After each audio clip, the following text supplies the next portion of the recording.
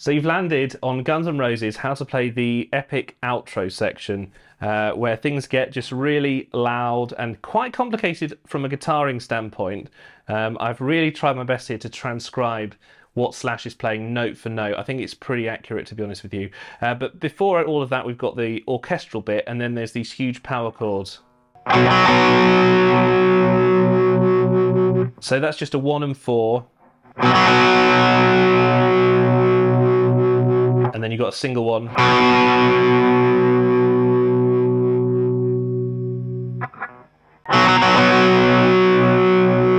And then this is rhythmically uh, quite difficult because it's kind of triplets.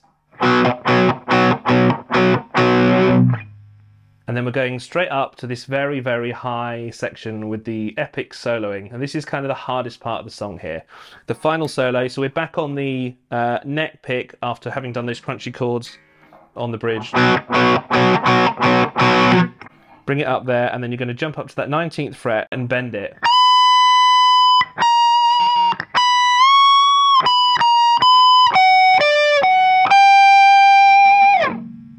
There's a clever fingering trick that I'm going to show you in a second as well. So 19th fret with a bend, vibrato, and then bend.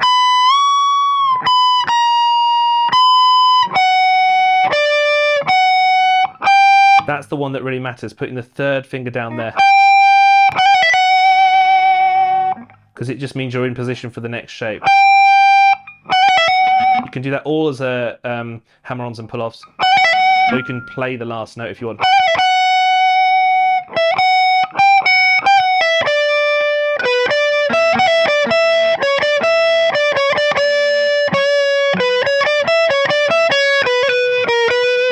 So that's the kind of next pattern in a little bit slowed down. I mean, you don't have to be super accurate here because really this is just slash improvising over the notes. But because I'm a pedant and I wanted to get it exactly right, that's what I'm going to show you how to do. So it starts like this, down, up, down, up. Pull offs here. And it's another pull off. Little bend on the second uh, finger here. And then you do it again with vibrato. A little scale. Pull offs here and hammer ons. Now you can slide down here, or you can do a 16th fret across. I get a feeling it's the 16th fret across, but there's two options for you there. Then we're back to this original shape here up to the top.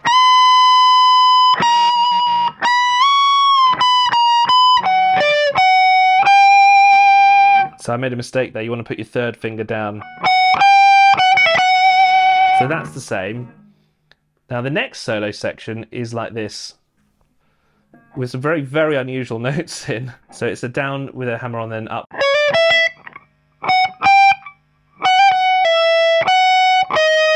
So that's the weirdest note there, the 17th fret, uh, which sounds a bit out of place, but that is what's played. And actually, when it's so fast, it actually sounds quite good.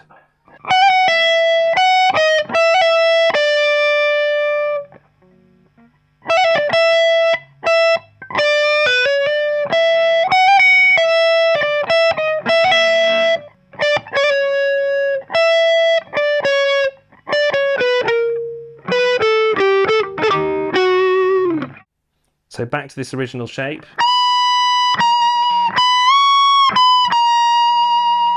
And then you're jumping down here with a quick bend on the 15th.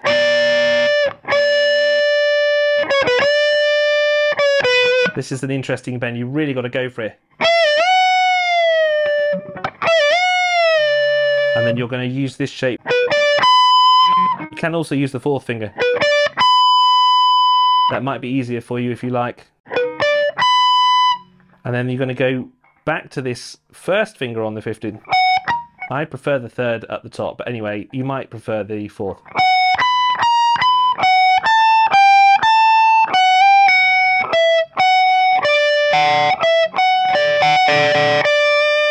So that's how that shape works. We're carrying on with the solo here. We're going into page four of our tab now.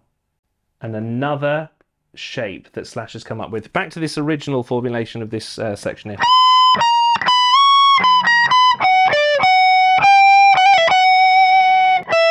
So you jump up to the 19th and then you do this little bend here. And then it goes to this nice shape here. And then you can jump down to this 11th here.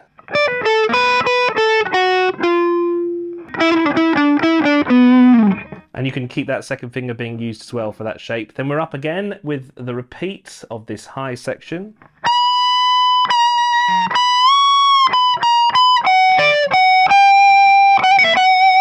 This is probably the weirdest shape.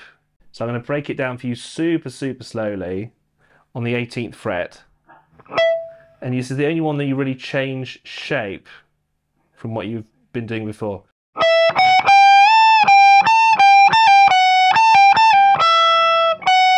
Can use the third finger across there as well.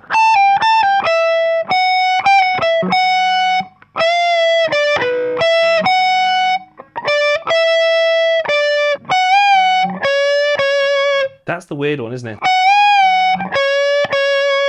But anyway, that's what's played by Slash, and then you're back up here.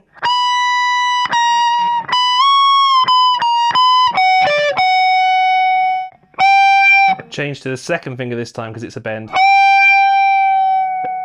and then it said slow release.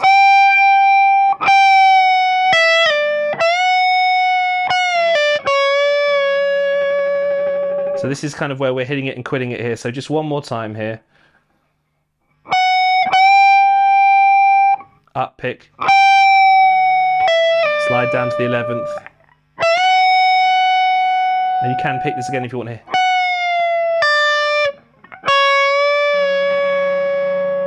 can use the first finger for that last one there. And you need to do a little bit of uh, feedback there, which means that you need to go and stand next to your amp. And then, unbelievably, we've made our way through November Rain from Guns N' Roses. It's a kind of nine minute track here, which is why we did so many videos. I'll also do a, a mega video release, a compilation of everything, which will probably end up being about half an hour long or something like that. Uh, but I hope you enjoyed just how accurate we're trying to be. Good luck with trying to nail down some of those solos at the end there, especially that particularly weird one right at the end. Uh, let me know how you get on. And if you want more Guns N' Roses, I mean, I don't really need any excuse. Um, but it was nice to be able to bring out the E-flat uh, tuned guitar as well today. I think this is the first video um, song that we've done with this one. So anyway, if you see the green one, you'll know it's in E-flat tuning. Uh, do subscribe after this mammoth effort and uh, we'll keep doing what we're doing.